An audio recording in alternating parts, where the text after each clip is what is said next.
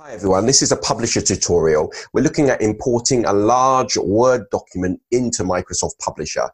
And this is computer tutoring.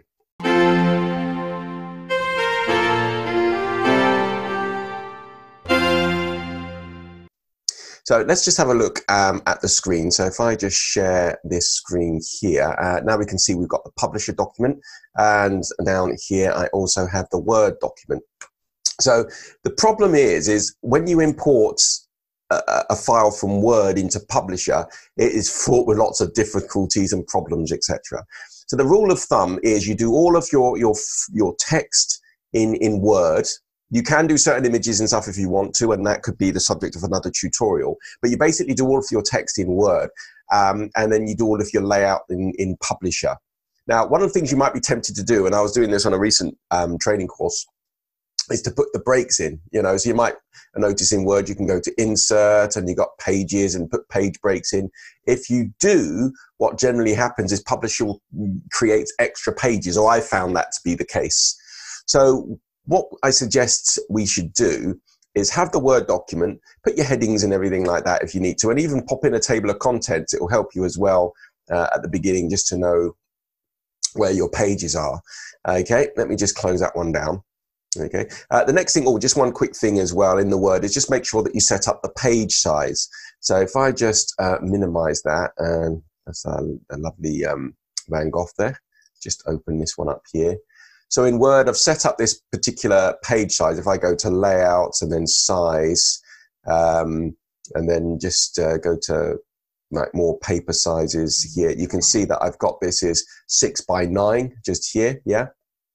So you need to set that up and the margins as well. I've got this as 0.5 margin. So this is like a little book size there. Okay, let me just close that down. Let's go back to Publisher. So here we go. Now, in Publisher, uh, what you need to do is if we start an A4 document, just need to make sure that your pages and, and your setup is the same. So we're going to click on Page Design just here at the top. So just Page Design here. Uh, and then we're going to go to size, and then we're going to go down to and click on page setup here at the bottom. Okay, so here's our page setup options just here. I don't know if I zoom in if you can see this, hopefully you can, but um, this is our page setup. At the moment, it's all in centimeters, so I need to change that. Let me just cancel that. I'm going to go to File, I'm going to go down to um, Options just down at the bottom, just here. So just Options just here. So click on that. Um, and then we're going to go to advanced.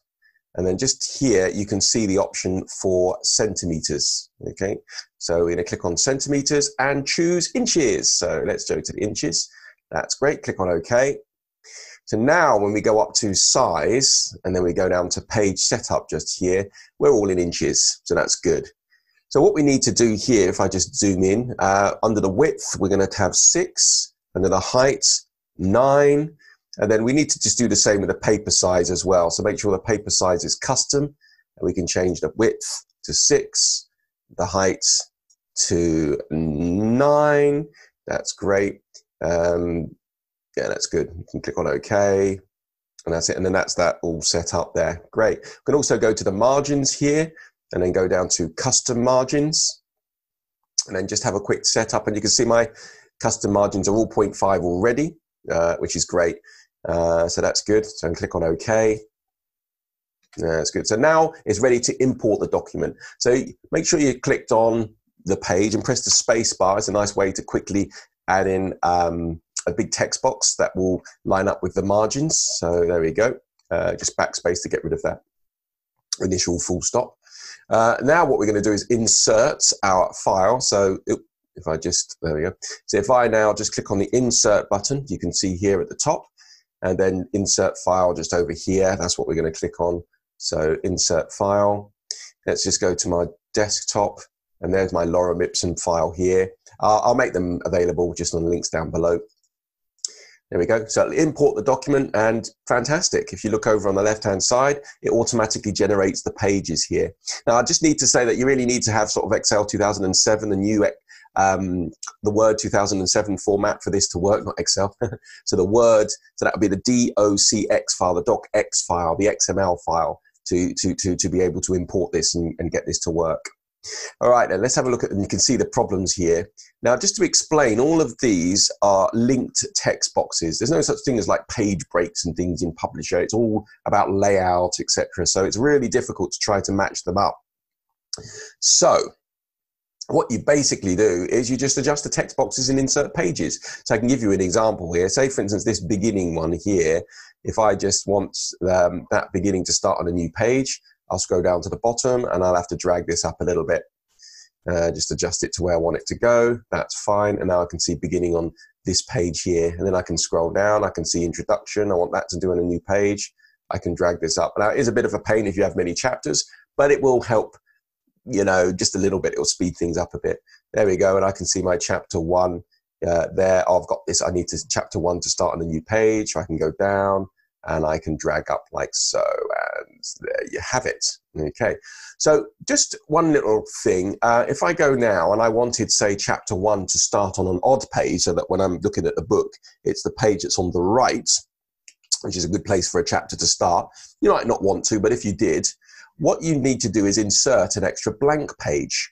So um, if I go up here to page three, just over here, and then there we go, right click on that. I'm going to go to insert page and then just make sure you can see here it says after the current page. The number of pages one after the current page. That's good. So I'm just going to click on OK. And there we go. So now this is page four. This is a totally blank page. But then on page three, if I click on it, you can see that this I click on this little button just down here. I'll just highlight it just make it clear what I'm doing, just this one just here. Uh, if I click on it, it takes me straight away to page five, chapter one starting on page five. And then eventually I can go on and I can actually, um, you know, add things in as well. So that's good. Just to watch out at the end, you might have extra pages, etc. You know, if I go down to the end and I click on this, um, yeah, you see I've got this as overset text because I've put in extra pages in. I will have to increase, um, uh, like put, create another page. I'd have to put another page here afterwards, like so. And then just make sure that I link this box. If I just zoom back to give you an idea. So if I go down and I just sort of zoom in here and just zoom back here, you see this little tiny little ellipsis just here. That means that I need to link this text box to another one or create a new one. So just very quickly, I just click once on it like so, go to page 15 like so, uh, and I should just be able to just click once on the page here. There we go. And can just uh, just adjust the size of it, etc. Just get that working. Um, right, so there we go. Just adjusting. There we go. Uh, if I just drag that down a bit, uh, oh, it's quite a lot there. Maybe I need to uh, that's good. I might need another page as well. Let's just, uh, there you go. Let's just insert another page over here. Go back to page 15 here. Let's just zoom back a bit. I'll see the whole page in the window and then I'll just link that to the new page here. Okay, it's just a, it's just a little bit needed really. There we go. Brilliant. So there you go. Um, afterwards, uh, you're correct, trying to create a book. If you haven't already done so, you can click, click on how to create an A5 booklet uh, in Publisher. You can right click and view two page spreads. So you can actually see the pages as they would in a book, uh, look like in a book. And again, you'd have to go and adjust your table of contents, just make sure the pages match up. You might need to change this a little bit. So I hope this helps. Hopes it's informative. If you've felt so, then give us a thumbs up. Don't forget to subscribe, click the notification so you don't miss a thing. Uh, if you haven't already done so, please check our live online training. Uh, we do these sessions. In fact, just like this, we're using uh, Zoom technology here or the, the, Zoom application. Find it really good for um, sharing screens and uh, um, yeah, tearing screens, etc. Uh, having nice, cool virtual backgrounds as well, uh, and also yeah, just uh, recording sessions as well, like this, so that uh, after the training course, you can come back to it. Great. Nothing else to say apart from thank you so much for watching.